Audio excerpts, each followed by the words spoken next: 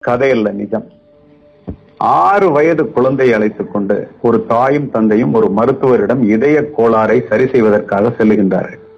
இந்தியாவிலேயே உள்ள மிகப்பெரிய மருத்துவமனைகளில் ஒரு மருத்துவமனை அது. அந்த பெரிய மருத்துவரிடம் நூறு மருத்துவர்கள் உதவி மருத்துவர்களாக பணிபுரிகின்றார்கள். அவரிடம் அவர்கிட்ட அப்பாயின்மெண்ட் வேணும்னா ஆறு மாசத்துக்கு முன்னாடி அப்பாயின்மெண்ட் வாங்கணும். ஒரு நாளைக்கு பத்து இதய அறுவை சிகிச்சை செய்கின்ற மருத்துவர் அவர். மிக திறமையானவர் மிகவும் படித்தவர்.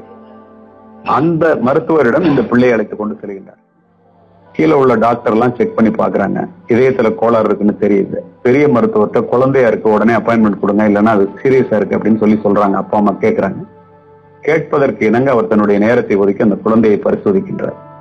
பரிசோதித்து பார்த்த மருத்துவர் பெற்றோர்களிடம் கூறுகிறார் இந்த குழந்தைக்கு இதயத்திற்கு வருகின்ற இரத்த குழாய்கள் அத்துணையிலும் அடைப்பு ஏற்பட்டிருக்கிறது. இன்னும் மூன்று மாதத்திற்கு தான் இந்த குழந்தை உயிருடன் இருக்கும். இதை உங்களுக்கு நான் சொல்ல கடமைப்பட்டிருக்கின்றேன். மருத்துவ சிகிச்சை ஏதாவது உண்டா என்று பெற்றோர்கள் பதறி போய் கேட்கின்றார்கள். அறுவை சிகிச்சை செய்யலாம்.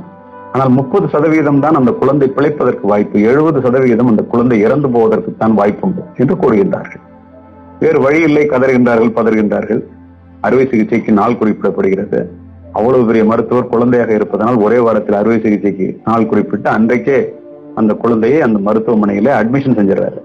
தினம் தினம் அந்த டாக்டர் வந்து போகும்போதும் அந்த குழந்தை இருக்கின்ற அறையை தாண்டி செல்லும் போது அந்த ஏழை தாய் அந்த குழந்தை இடத்திலே முப்பது சதவிகிதம் தான் பிழைக்கிறதுக்கு வாய்ப்பு இருக்கு. எழுபது சதவீத சதவிகிதம் இறந்து போவதற்கு தான் வாய்ப்பு இருக்கு என்று சொன்னதனால் அந்த குழந்தை பயந்து விடக்கூடாது என்பதற்காக நிச்சயமா அறுவை சிகிச்சை நல்லா முடிஞ்சிடும் நம்ம நல்லபடியாகி வீட்டுக்கு போவோம். நீ பயப்படாத. அப்படின்னு திரும்ப திரும்ப சொல்றாங்க. உன்னுடைய இதயத்திலே கடவுள் இருக்கிறார். நம்முடைய கடவுள் நம்மை காப்பாற்றுவார். பயப்படாதே.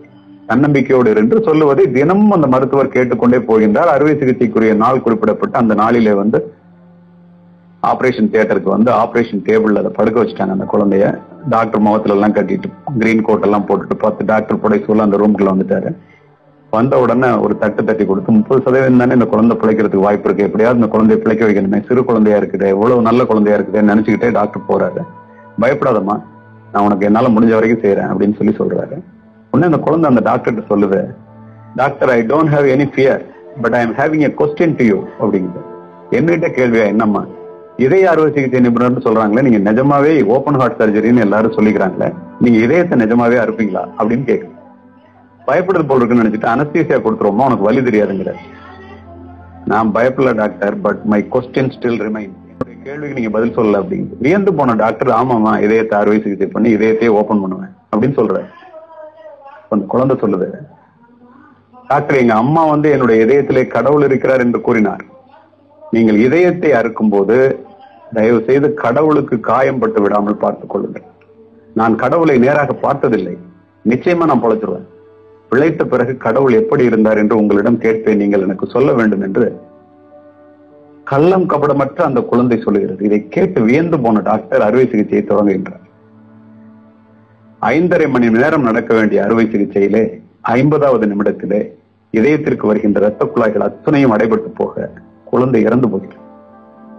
அந்த டாக்டர் ஒரு நாளைக்கு பத்து பேர் ஆபரேட் பண்றது அவருக்கே அந்த இறப்பை வந்து தாங்க முடியல. தன்னுடைய முயற்சிகள் எல்லாவற்றையும் செய்து பார்த்து விட்டார். தன்னுடைய படிப்பு அத்தனையும் உபயோகித்து பார்த்து விட்டார். அந்த நேரத்தில் அவர் நினைக்கின்றார் என்னுடைய முயற்சிகள் பலனற்று போய்விட்டன.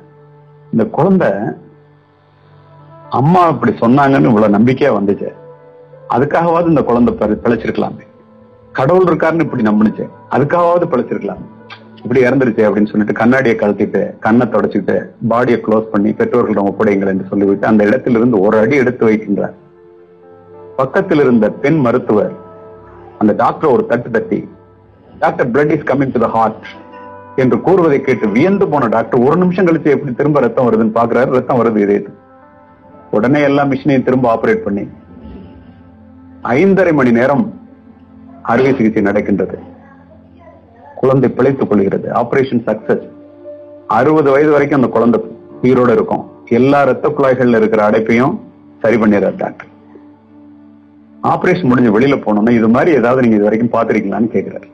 மற்ற மருத்துவர்கள் நிச்சயமாக இல்லை என்று கூறுகின்றார் ஏதோ ஒரு பெரிய மாற்றம் அந்த உடலிலே ஏற்பட்டாலே உடைய இப்படிப்பட்ட ஒன்று நடப்பதற்கு வாய்ப்பே இல்லையே என்று சிந்தித்துக் கொண்டே செல்கின்றார்.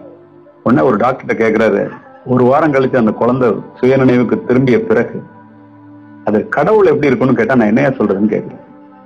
கடவுளை பார்க்க முடியாது உணர முடியும்னு சொல்லுங்கலாம் சொல்றாங்க. ஒரு டாக்டர் ஒரு முடிவோடு அந்த குழந்தையினுடைய அறைக்கு செல்கின்றார். ஒரு வாரம் கழித்து ஓடி வந்த குழந்தை அந்த டாக்டரோட காலை கட்டி பிடிச்சிட்டு கடவுளை பாத்தீங்களான்னு கேக்குது. நான் பார்த்தேன். எப்படி இருந்தாருன்னு கேக்குது. சற்று நகர்ந்து கொண்டு இப்படித்தான் இருந்தார் என்று பின்னால் காண்பிக்கின்றார். அந்த இடத்திலே அந்த குழந்தையினுடைய தாய் நின்று கொண்டிருக்கின்றார் அந்த குழந்தை ஓடி போய் தாயினுடைய காலை கொட்டி கொண்டு அம்மா நீதான் கடவுளா? என்று கேட்கின்றது. அத்தனை பேரும் கண்ணீர் சிந்துகின்றார்கள். இதிலிருந்து என்ன தெரிகின்றது? இறந்து போற சூழ்நிலையில இருக்கின்ற இறந்து போகின்ற சூழ்நிலையில இருக்கின்ற ஒரு குழந்தையை கூட ஒரு தாய் நம்பிக்கையை உண்டாக்க முடிகின்றது. அடுத்த நாள் வந்து அந்த ஆஸ்பத்திரிக்கு வந்த டாக்டர் ஒரு கடவுள் படத்தை மாற்றுறாரு அவருடைய ரூம்ல அவருக்கு கடவுள் பக்தி இதுக்கு முன்னாடி இருந்தது இல்லை ஆனா எழுதுறாரு தன்னுடைய நோட்டை எடுத்து. என்ன எழுதுறாருன்னா என்னுடைய படிப்போ என்னுடைய திறமையோ இந்த குழந்தை பிழைத்ததற்கு காரணம் இல்லை என்பதை நான் முழுமையாக அறிவேன். கடவுள் காப்பாத்தினாரான்னு எனக்கு தெரியாது. ஆனா கடவுள் இருக்கிறார் என்ற ஒரு நம்பிக்கையை அந்த குழந்தையினுடைய மனதிலே விதைத்த அந்த ஏழை தாய் தான் இந்த குழந்தை பிழைத்ததற்கு காரணம் என்று எழுதுகின்றார். இதை நான் எதற்கு குறிப்பிடுகின்றேன் தெரியுமா பெற்றோர்களே? இறந்து போன குழந்தையை கூட பிழைக்க வைக்க முடிகின்ற நம்பிக்கையை நம்பிக்கை விதைகளை ஒரு குழந்தையினுடைய மனதிலே விதைப்பதற்கு பெற்றோரால் தாயினால் மட்டுமே முடிகின்றது.